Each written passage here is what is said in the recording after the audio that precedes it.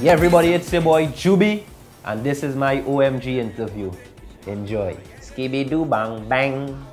Alright, basically, um, I always involve in culture. Um, since I'm born, I involve in culture. So it's not, it's never nothing really new with respect to me. It's always me looking to express myself in another creative way. You know what I mean? Um, preparing for Carnival 2018, and each and every year I try my best to put out a couple of contributions musically um, for the people, and you know what I mean? And the same going into this year.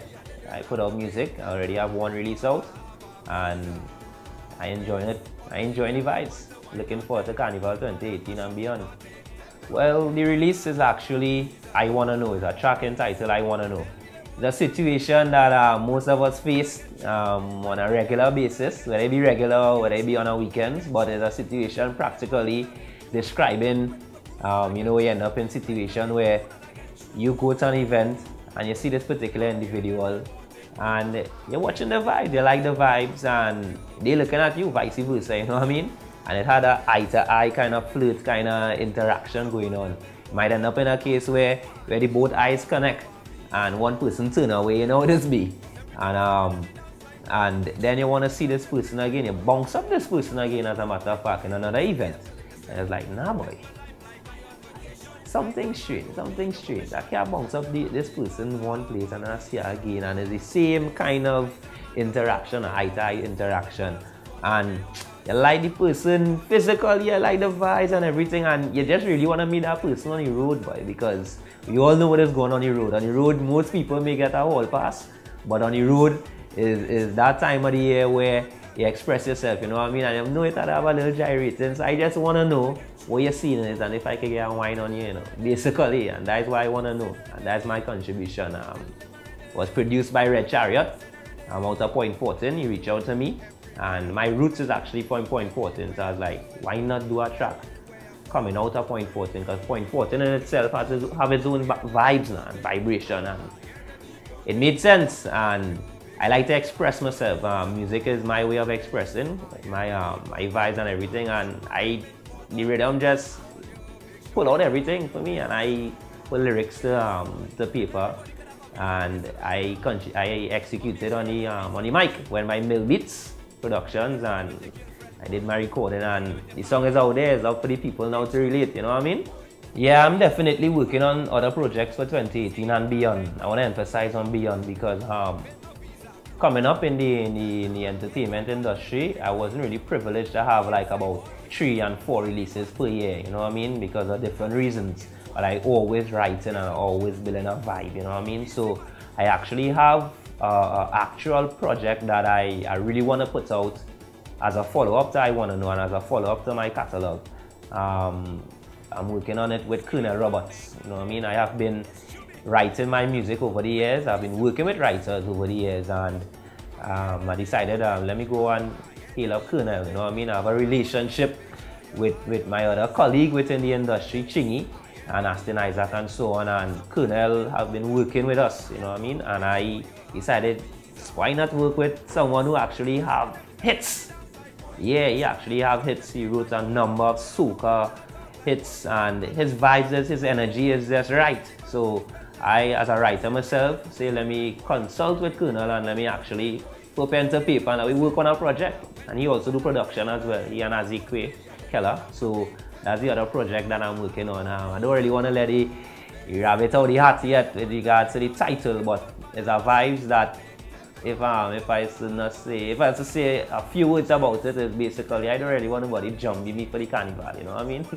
so that's that's practically the next project coming up as well as some other calypso projects that um, I want to release and put out there because I have a lot to express. Eh? So I don't really want to put timelines to my projects, but I'm constantly working on stuff now. So expect a couple of tracks on me for this, this carnival season and beyond, man. A lot of people may not really know who Juby is. Eh? A lot of people will see me around. as, I, as I said in, my, in one of my previous songs, I have a visa face. So people will know my face, you know what I mean? It's like one of the best. But people know Juby from around, but people don't know Juby the artist.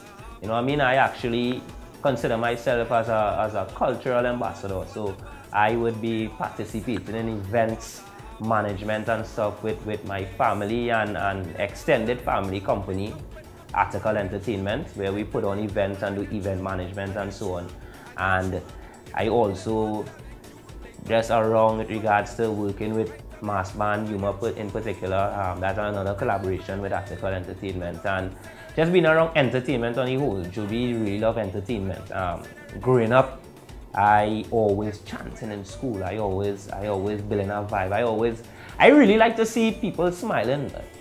To be honest, I, I, I don't find. I mean, everybody's end up in different situations, eh, but Juby like to be the one to um, kind of bring out that happiness around the whatever setting I in. So entertainment was my go-to, culture is my go-to, so why not express myself and, and see if people can relate to what I'm saying because I, I speak experiences, understand? And I speak scenarios. So Juby jumping onto the music scene was, was automatic. And um, I have been privileged to be born in culture where my dad actually is, is a, a instrumental member of the, the, the Calypso fraternity so I have that calypso background embedded in me from growing up, singing in the, in the primary school level, secondary school level, participating in junior calypso monarch, junior soca monarch, and so on. So I was even privileged to sing in the calypso tent, which was a big deal for me. I actually, um, that was in 2016. That was a big deal for me because I always used to visit the calypso tent and I used to see the big, big Calypsonians and their, their way of expressing was amazing to me. You know, um, they telling stories and using words and delivering these stories in such a way that it's almost like you're watching a block a blockbuster movie. So I always wanted to be part of that now and be just in the environment, not only to be on the stage but also just to just be around greats within the industry. And so I was happy to actually be selected for the for the Calypso tent. That was Kaiso House in 2016 and from since then I have been working towards at least having a, a Calypso tent song where I could always have that platform to be to be around those people and to also express myself in that particular setting. And outside of that, performing, Juby is the performer that you want at your event. Um, whether I be the performer on the stage or the performer at the entrance. I bring in that vibe for you, you know what I mean? So that's practically Juby in a nutshell.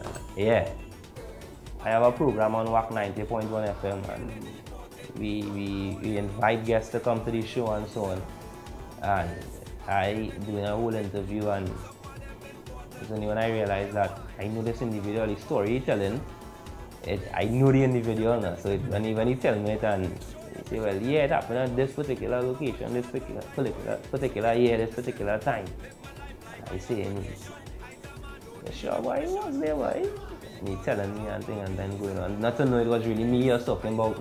so I don't know if he knew it was me and he was just playing with my head or if he really didn't know it was me and was just describing the scenario. But when, when I when I put two and two together and realized it was me, I was like, but I, didn't even tell him. I just laughed and I was like, hey. I, yeah, I mean, yeah, yeah. I would like to thank everybody for tuning in to OMG Magazine. Um, you spend a little time with Juby, and you can find me on my social media Instagram, Juby underscore Cox, Facebook, Juby Cox. Um, where all my music videos is actually on YouTube. Um, type in Juby, J U B Y, and you can find all my music. I prefer you type in J U B Y Soca. I mean, say you'll find my soca music and so on, and you'll find my calypso music as well. But Juby, J U B Y Cox, look out, look out for me, and you really wanna have me at the event. Skibby doo bang bang. But make sure you have a visa, brethren.